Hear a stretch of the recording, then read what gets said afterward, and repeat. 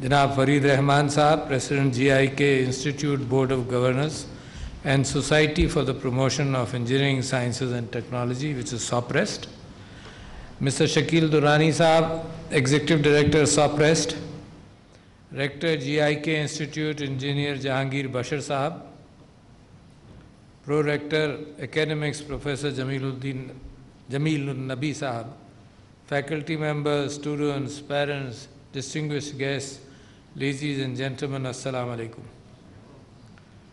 सबसे पहले मैं उन तलबा को मुबारकबाद देना चाहता हूँ जिन्होंने बड़ी मेहनत के बाद अपनी तालीम जीआई के इंस्टीट्यूट में मुकम्मल की और उन बच्चों को जो जिन्होंने आला कारकर्दगी की बुनियाद पर गोल्ड मेडल्स हासिल किए जब ये मुबारकबाद मैं दूँ उसके साथ साथ ये भी मुबारकबाद देना चाहता हूँ उनके माँ बाप को कि जिन्होंने उनकी परवरिश भी की और मेहनत की और इस काबिल बनाया कि वो उनको यूनिवर्सिटी में भेजें, माली बोझ बर्दाश्त किया होगा, तरबियत की होगी तो मैं उनको भी बहुत मुबारकबाद देना चाहता हूँ। और मैं चाहता ही हूँ, ये हूँ कि जो ग्रेजुएट्स हैं, वो हमारे कल्चर और मज़हब की इन रवायात को हमेशा दुनिया में इसको अहमियत दें, क्योंकि ये रिवायात मिटती चली जाती हैं।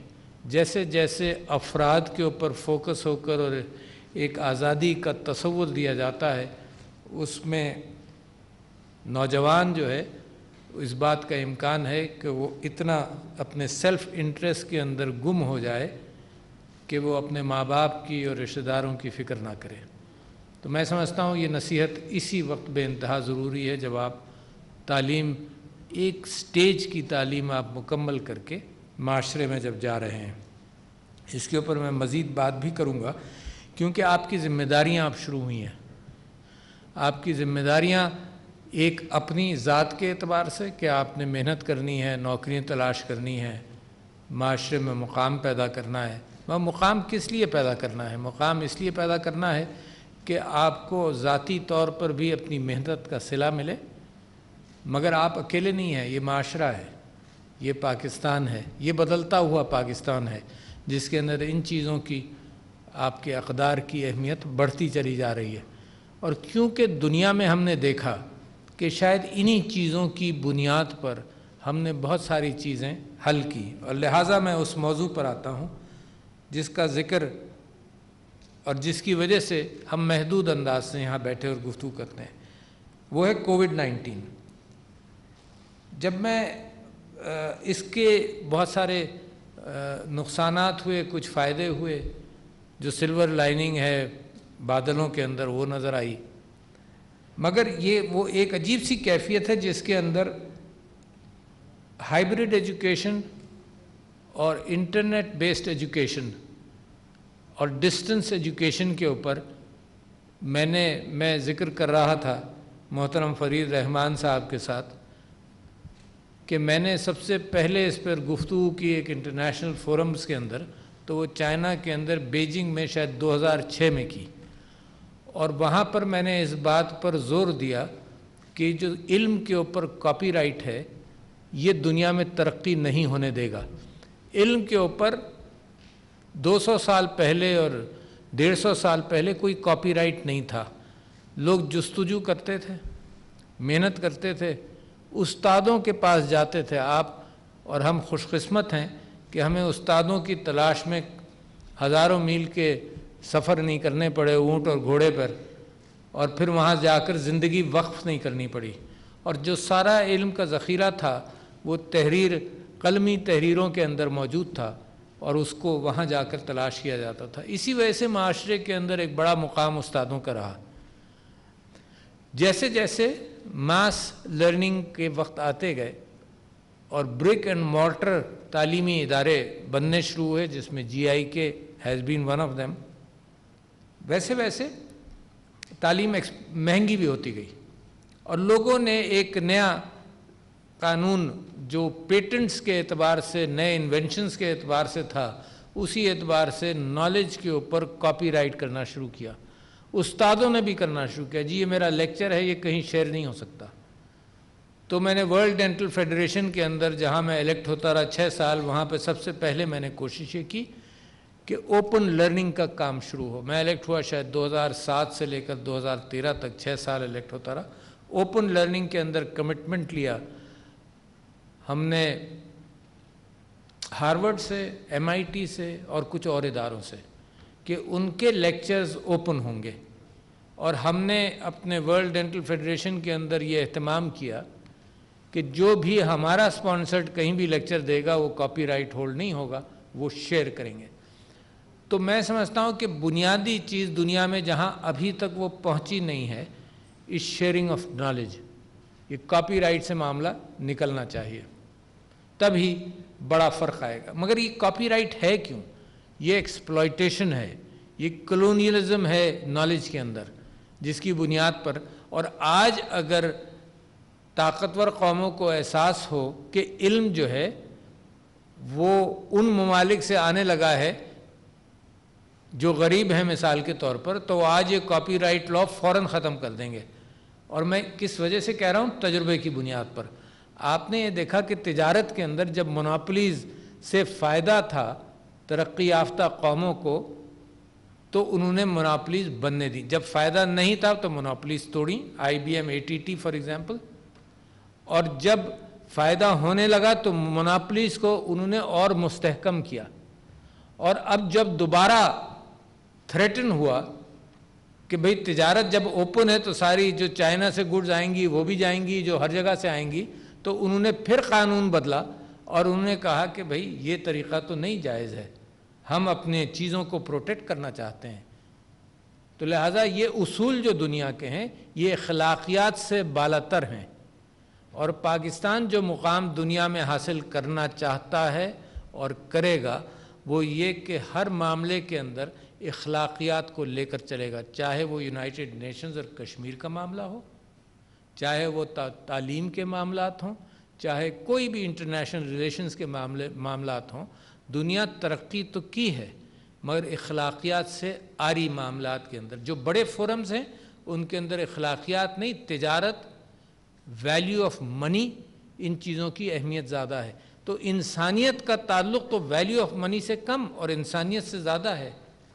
तो लिहाजा एक बड़ी चेंज जो पाकिस्तान अपने मुस्तबिल में देखता है और जो आप लोग जिस चीज़ का ख्वाब आपको देखना चाहिए, वो यही है कि ज़ाती और कौमी और बैन अवी अखलाकियात की तरफ़ हमें जो सुजू करनी है।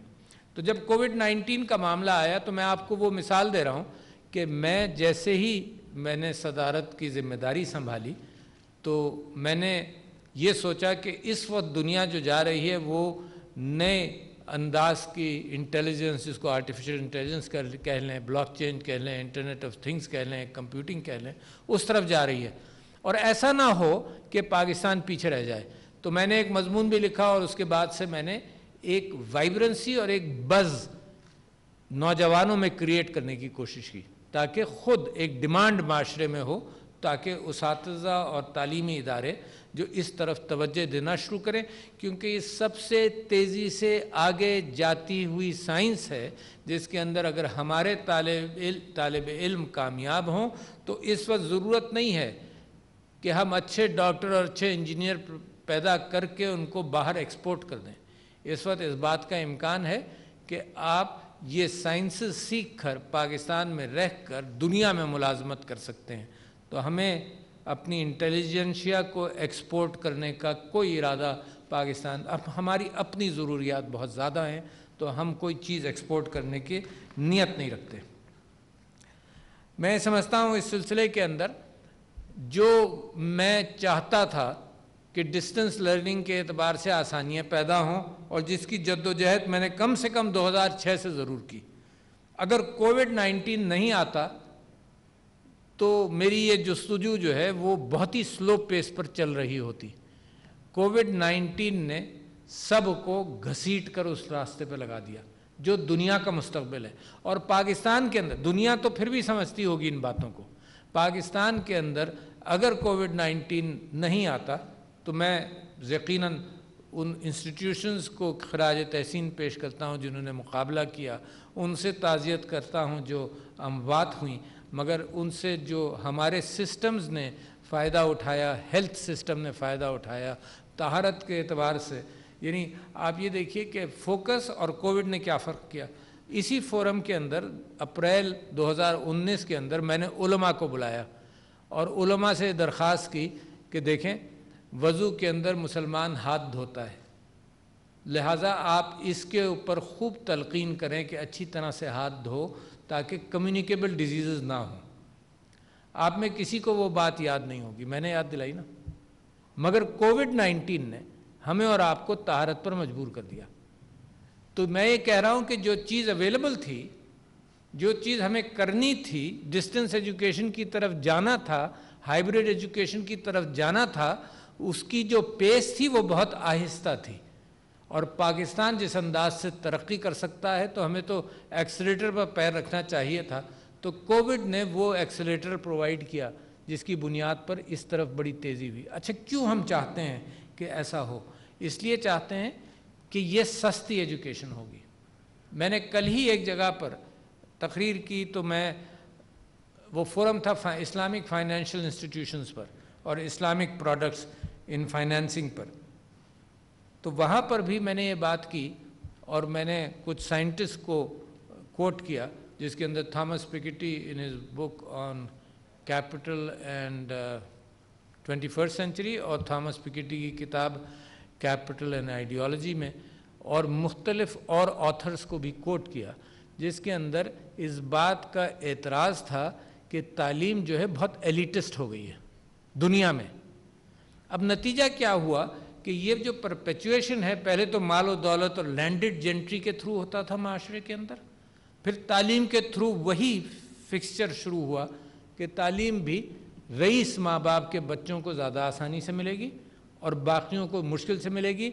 अगर रईस माँ बाप के 80 फ़ीसद बच्चे आला तालीम हासिल करेंगे तो गरीब माँ बाप के बच्चों की स्प्रिंकलिंग 10-15 परसेंट की डाल दी जाए माशरे को दिखाने के लिए कि it is emancipated it is not तो बहुत बड़ा फोकस है तालीम के ऊपर कि वो एलिटिस्ट एजुकेशन जो है, वो एलिटिस्ट स्ट्रक्चर्स को परपेचुएट करती है और elitism and wealth inequality को बढ़ाती है।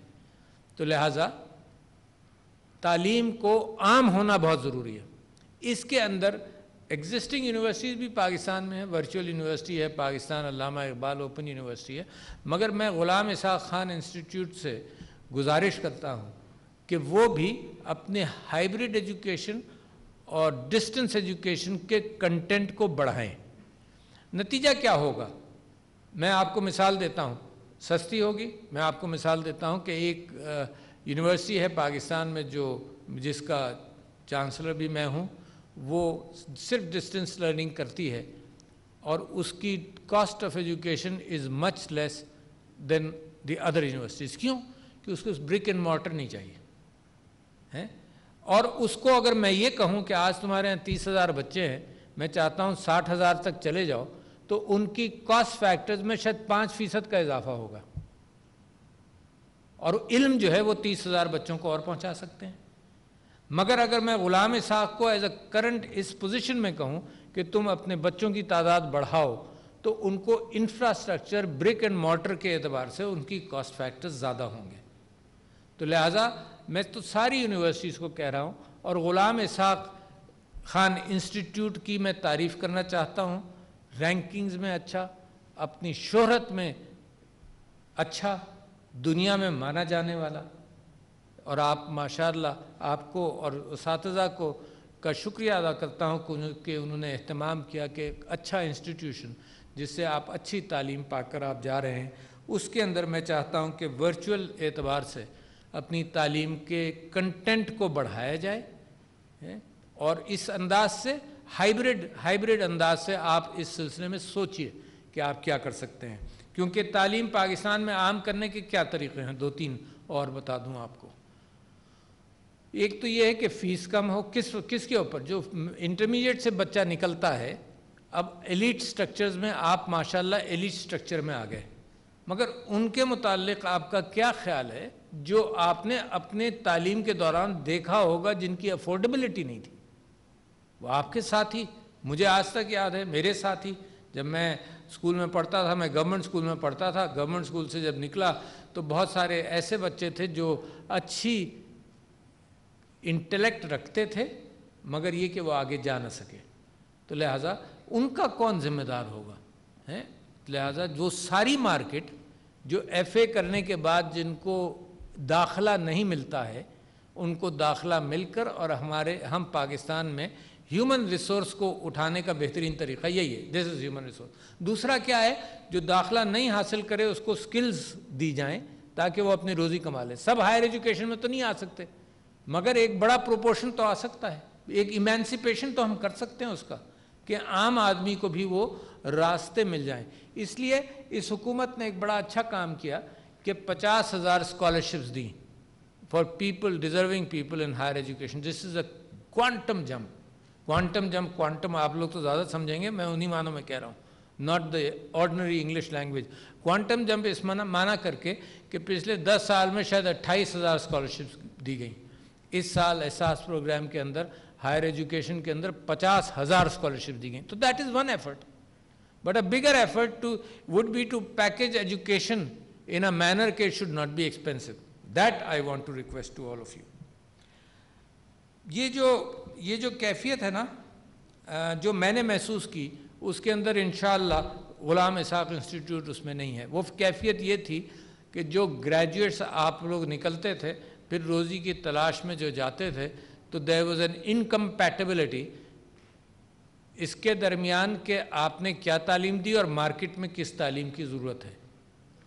तो मैं ये अर्ज़ करता हूँ दरख्वास्त करता हूँ आपके बोर्ड ऑफ़ गवर्नर्स के साथ कि मार्केट के साथ लिंक जो है, वो सिर्फ़, वो ज़रूरी है, आप स्टैटिक मत हो जाएँ। स्टैटिक कैसे हो जाते हैं? स्टैटिक इस तरह से होते हैं, जैसे मैं मुबारकबाद देता हूँ कि आपने आर्टिफिशियल इंटेलिजेंस एंड कंप्यूटिंग पर कोर्स शुरू किया। दैट इज़ द फैक्ट के मामला आपको अंदाज़ा हुआ और आपने किया। ये स्टैटिस स्टैटिक नहीं है डायनेमिक कैफियत है। आप स्टैटिक मत हो जाएँ कि अगर आपने फ़र्ज़ करो पचास बच्चे एक सेक्टर के अंदर लेने हैं और आपको अंदाज़ा हो कि मार्केट अंदाज़ा कैसे होगा you have to keep your eyes open and your ears open अपनी आँखें और अपने कानों से हमेशा ये देखते रहें कि भाई मार्केट की क्या कैफियत है। एक तो तालीम जो मार्केट चाहती है वो दें क्योंकि एक फिगर मुझे याद है कि जब मैं प्रेसिडेंसी में आया और मैं इसी वजह से चाहता था कि इसके ऊपर मेहनत हो, वो फिगर ये था कि तीस हज़ार ग्रेजुएट्स जो कम से कम कंप्यूटर कंप्यूटिंग साइंसेज में निकलते थे, उसमें से पच्चीस हज़ार को नौकरी नहीं मिलती थी। सिर्फ़ पाँच हज़ार को मिलती थी। अब हमने ग्रेजुएट्स पैदा किए। मुसलसल मैं अखबार में पढ़ता हूँ कि जी पीएचडी हमें नौकरी नहीं मिल रही। तो फरीद रहमान साहब ने एक और बात कही थी कि मौाक़े नौकरियों के मौाक़े भी माशरा प्रिपेयर करें। अच्छा ये सारे पहिए साथ चलने चाहिए। ये नहीं हो सकता कि हम ग्रेजुएट्स प्रिपेयर करें और माशरे में खपत ना हो। पाकिस्तान ये भी करके देख चुका है। हमने इंजीनियर और डॉक्टर प्रोड्यूस किए, सत्तर और अस्सी की दहाई के अंदर बहुत प्रोड्यूस किए। अपनी ज़रूरत से ज़्यादा किए। जिनको नौकरी दे सकते थे, उनको, उनसे कहीं ज़्यादा हमने प्रोड्यूस किया। नतीजा क्या हुआ कि हमारा सारा ये ब्रिलियंट क्रीम हमारी, आप लोग क्रीम हैं। और अगर आप लोगों को यहाँ नौकरी ना मिले और आप खप ना सकें तो ये क्रीम हम दूसरे ममालिक की खिदमत में पेश कर देते हैं। तो लिहाजा ये बहुत ज़रूरी है कि पाकिस्तान की नौकरी के सिस्टम्स और एम्प्लॉयमेंट के सिस्टम्स भी साथ साथ चलें। तो लिहाजा किस चीज़ में साथ चलने की ज़रूरत नहीं है? किस चीज़ में साथ चलने की ज़रूरत नहीं है? For example computing and artificial intelligence क्यों? क्योंकि अगर यहाँ नहीं तो यहाँ बैठे बैठे बाहर आपको नौकरी मिलेगी। बैठे हम गए आप यहीं, और बाहर आपको नौकरी मिलेगी। तो इसमें तो फिर भी पाकिस्तान के अंदर अपॉर्चुनिटीज़ खुले तो ज़्यादा अच्छा है, मगर बाकी चीज़ों के अंदर भी मैं समझता हूँ पाकिस्तान के अंदर नौकरियों की अपॉर्चुनिटीज़ तो जो कंस्ट्रक्शन पैकेज है, जो टूरिज़्म सेक्टर है, उसकी आपको मिसाल दूँ टूरिज़्म सेक्टर भी ऐसे ही है जैसे कोविड ने हमको घसीट कर डिस्टेंस लर्निंग पर लेकर आया। इसी तरह से टूरिज़्म जो है वो अल्लाह मियाँ मार्केटिंग कर रहा है पाकिस्तान के अच्छे खूबसूरत जगहों की। तो नतीजा ये है कि गिलगित बल्तिस्तान, जहाँ की ख़ुद अपनी आबादी चौदह पंद्रह लाख है और वहाँ पर उसके दो तीन लाख लोग तो बाहर रहते हैं, वहाँ पंद्रह बीस लाख टूरिस्ट चला जाता है एक सीज़न में। सड़कें बंद हैं, सड़कों पर ट्रैफ़िक जाम है वीडियोस निकल रहे हैं कि भाई मत निकलना, मत आना इधर, है? तो गवर्नमेंट जितने अरसे में सड़कें बनाएगी और होटल बनाएगी टूरिस्ट उसका इंतज़ार नहीं कर रहा। तो ये the tourist is dragging this government to perform in areas much faster than what the resource of the government are तो लिहाजा कोविड ने भी आपके साथ यही किया। तो मैं समझता हूँ कि इन सारे मामला के हवाले से मैंने नुकात तो और भी बहुत सारे लिखे हुए थे मगर इस, इस ख़ास तौर पर मैं आपसे ये बात करना चाहता हूँ कि मैं ग्रेजुएटिंग स्टूडेंट्स के अंदर ख़वातीन की तादाद अच्छी देखता हूँ मगर माशरे में जब उनकी खपत होती है तो वो तादाद कम होती जाती है। कुछ तो नेचुरल कैफियत है कि इस कल्चर और इस माशरे की एक खूबसूरती है कि हम अपनी औलाद पर तवज्जो देने के अतबार से हमारा जो ख़ानदान का इंस्टीट्यूट है, इसको अभी तक हमने बरकरार रखा हुआ है। उसका नतीजा ये है कि औरत जो बच्चा जनती है, बच्चे को पैदा, बच्चे को पालती है तो उसका एक टाइम ऐसा आता है कि वो अपने पेशे के एतबार से या जो इल्म उसने सीखा है, उस एतबार से वो उसका वो परफॉर्मेंस ना हो। तो मैं समझता हूँ कि इसके अंदर भी पाकिस्तान को ये कोशिश करनी चाहिए कि part time ability for women to work in society रहनी चाहिए। और पार्ट टाइम एबिलिटी को हमें माशरे के स्ट्रक्चर्स के अंदर और इंस्टीट्यूशंस के अंदर डालना चाहिए। दूसरे ये कि मैं हर महफिल में अगर ज़िक्र नहीं करूँ तो मेरी बीवी मुझसे सवाल करती है कि क्या तुमने ये बात की कि डिसेबल्ड हजरात के लिए और अफराद के लिए हर इंस्टीट्यूशन ने क्या अहतमाम किया है? अच्छा और तादाद डिसेबल्ड अफराद की या डिफरेंटली एबल्ड लोग जो सही वर्ड कहा जाता है कि इस्तेमाल किया जाए, उनकी तादाद दुनिया में 12 से 14 फ़ीसद है। पाकिस्तान में भी कम नहीं होगी। लिहाजा मैं आपके इंस्टीट्यूट से भी दरख्वास्त करता हूँ कि उनकी एम्प्लॉयमेंट अच्छा एम्प्लॉयमेंट डायरेक्टली ट्रांसलेटेबल नहीं है कि ये जॉब डिफरेंटली एबल्ड को दे दो, बल्कि जॉब स्ट्रक्चर भी उसी की परफॉर्मेंस के एतबार से करना पड़ेगा। जो माशरे अपने डिप्राइव्ड अफराद के साथ बढ़ते हैं, उन माशरे के अंदर, माशरों के अंदर स्ट्रेंथ बड़ी होती है। और मैं आपको बताऊँ, पाकिस्तान जिस तरह से ट्रांसफॉर्म कर रहा है तो ये मेरी बात आप अंडरलाइन कर लीजिए कि इस कोविड के ज़माने में जिस तरह से एहसास प्रोग्राम के ज़रिए बारह हज़ार रुपये एक करोड़ उनहत्तर लाख ख़ानदानों को भेजे गए, जिस, इसका मतलब ये कि आठ करोड़ लोग या नौ करोड़ लोगों तक इसकी बात पहुँची। तो ये वो एहसास है कि जिसमें माशरा और हुकूमत गरीब को साथ लेकर जाती है, ऊपर उठाती है। जो माशरे एलिटिस माशरे बनते हैं, वो एक्सपोलाइटेटिव माशरे हैं नॉन इंक्लूसिव या एक्सक्लूसिव माशरे हैं, उसमें तनाव भी होता है और उसमें इंतशार भी होता है। तो ये जो कोविड की कामयाबी है, इसके अंदर बहुत बड़ा हाथ इस बात का है कि इसी फोरम के अंदर बैठकर हमने ये तय किया कि मसाजिद अगर दुनिया इस्लाम में बंद हैं तो हमने फिर भी तरावियों के लिए खोलनी है। और हमने खोली और नतीजा ये हुआ कि अल्लाह से रुजू रुजू भी रखा, गरीबों का एहसास भी रखा, उसके बाद एहतियात, जैसे आप सारे मास्क बैठ, पहने बैठे हैं, ये एहतियात भी की और इस डिसिप्लिन की वजह से there has been a very significant change in Pakistan जो कि बराबर के ममालिक में आपको नज़र नहीं आती। मैं बार बार, आप खुद वाकिफ़ हैं, मैं इसकी बार बार बात नहीं करूँगा, मगर इसमें एक मिसिंग लिंक है ना? मगर मुसलमान के लिए मिसिंग लिंक ऐसे सारे मिसिंग लिंक के अंदर आदमी कहता है कि ये अल्लाह की मदद हुई। और क्यों हुई? उसके वजूहत आप तलाश करें। और वो ये हुई कि सारे माशरे की आपने फ़िक्र की। सिर्फ़ अपनी फ़िक्र नहीं की। एलिटिस अंदाज तो ये होता जो हिंदुस्तान ने अपनाया कि भाई हम बंद कर रहे हैं लॉकडाउन है परमानेंट तुम जाओ, पैदल जाओ 1500 मील जाओ 2000 मील जाओ, हमें इसकी फ़िक्र नहीं है। वहाँ पर अल्लाह की बरकत का इम्कान कम होगा। वो भी अल्लाह की मखलूक है। मगर बरकत का इम्कान कम होगा, बरकत का इनकाम आपके यहाँ होगा जब आप फ़िक्र करेंगे। तो मैं ये कहता हूँ कि बड़ी सख्त ज़रूरत है एग्रीकल्चर के अंदर, मेडिसिन के अंदर आर्टिफिशियल इंटेलिजेंस कंप्यूटिंग साइंसेस की। और यही अगेन बार बार ये कहता हूँ कि जो भी आप तालीम दें, वो मार्केट के अंदर उसकी ज़रूरत हो। तो इस लिंक को आप कभी मत छोड़ें और इसको जितना आप, जितना बेहतरी की तरफ़ ले जाएँगे, उतना अच्छा होगा। आखिर में मैं ये ज़िम्मेदारी का एहसास उन ग्रेजुएट्स को देना चाहता हूँ कि ये माशरा आपका है। आपने अपनी तरक्की करनी है, मगर हमेशा याद रखो, पाकिस्तान को फ़ख्र इस बात पर है कि बवक्त ज़रूरत या उसके अलावा भी सबसे ज़्यादा मुखैर लोग पाकिस्तान में मौजूद हैं। अच्छा ये ये फैकल्टी वो है जो इस वक्त से नौजवानी के ज़माने से बढ़नी चाहिए। ये नहीं कि जब मैंने मालो दौलत कमा लिया, उसके बाद मुझे खैरात का एहसास हो। ये मेरे नबी सल्लल्लाहु अलैहि वसल्लम का जो पैगाम आया था, वो नौजवानों के साथ आया था। वो आया था माशरे को एक्सप्लॉयटेशन से निकालने का पैगाम था। जो वहदानियत थी अल्लाह ताला की, वो भी पैगाम था।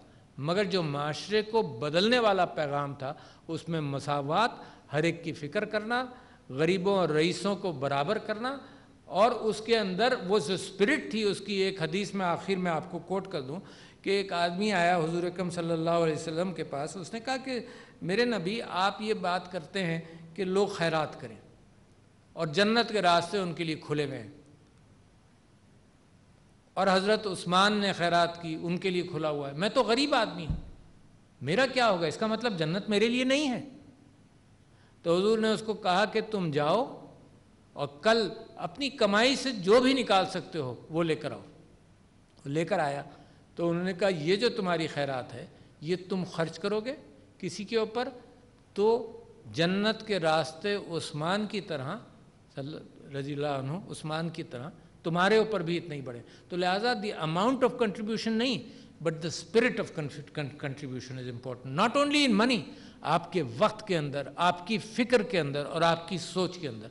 अगर पाकिस्तान उभरेगा इन जो कि मैं समझता हूँ, तैयार है तो वो जब उभरेगा, जब हम मुसावात के अतबार से सबकी फ़िक्र लेकर उनको, सबको उठाएँ गरीब हो, किसी वजह से नादार हो, कोई परेशानी में हो, सबकी फ़िक्र जो इदारे और जो मुल्क करेंगे, उसकी तरक्की को कोई चीज़ कभी रोक नहीं सकती। तो लिहाजा मैं आपको इस कॉन्फिडेंस के साथ जी आई के के तलबा को माशरे में भेजना चाहता हूँ कि दुनिया आपके लिए खुली हुई है और आखरत भी आपके लिए खुली हुई है। शुक्रिया ना अलैक्म अली कारकर्दगी का मुजाहरा करने वाले तालब इलमों को मुबारकबाद पेश करता हूँ। इन तलबा की कामयाबी में वालदेन और इस का किरदार बहुत अहमियत का हामिल है। फ़ारग तहसील तलबा को कामयाबी से अपना मकाम बनाना है। टेक्नोलॉजी की तरक्की ने मजमू सूरत हाल को तब्दील कर दिया। कौमी बैन अवी और ज़ाती हैसियत में अखलाकियात की पासदारी भी लाजमी है। कोरोना ने माशी ज़िंदगी और माशरती ज़िंदगी को भी तब्दील कर दिया। सदर ममलिकत doctor Arif Alvi Ghulam Ishaq Khan institute of science and technology के कॉन्वोकेशन के सिलसिले में मुनदा तकरीब से खिताब कर रहे थे, जो आपने मुलाजा किया। एक मुख्तर ब्रेक, उसके बाद आप देख सकेंगे।